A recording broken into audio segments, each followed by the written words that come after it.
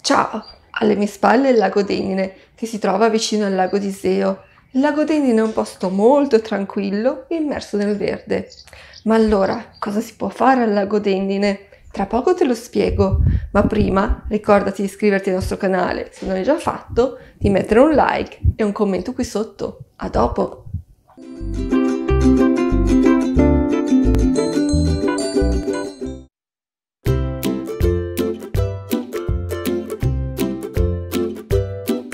Vuoi sapere cosa si può fare al lago Dendine a parte nascondersi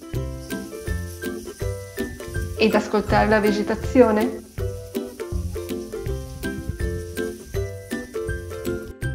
Qui al lago Dendine ci sono diverse attività che si possono fare.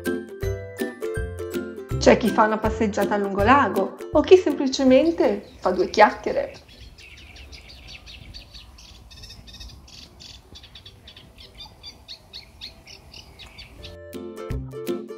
Se invece sei un po' più sportivo, puoi approfittare del lago per fare l'attività che più ti piace. Per esempio, perché non fare un bel giro col pedalò? Oppure puoi anche fare un giro in canoa. Oppure c'è chi non resiste a un tuffo ed una nuotata, per poi rilassarsi al sole. Un'altra attività molto apprezzata qui al Lago Denine è anche la pesca.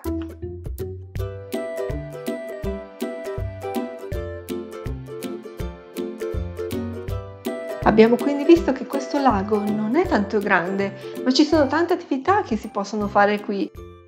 La verità però è che si sceglie il lago Dendine per godere della tranquillità e del panorama.